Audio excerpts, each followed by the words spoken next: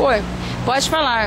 A senhora é cidadã carioca? Sou cidadã, sou professora aqui da escola próxima ao lado do Rio, praticamente.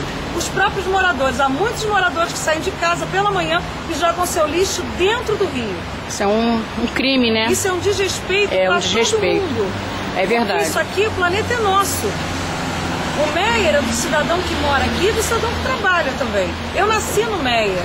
Se não nos zelarmos por onde nós vivemos, você vai zelar por onde? Nem pela sua casa você vai zelar. Perfeitamente. O importante é isso, que cada um zele pelo seu espaço. Porque nós não podemos agredir aquilo que nos faz bem.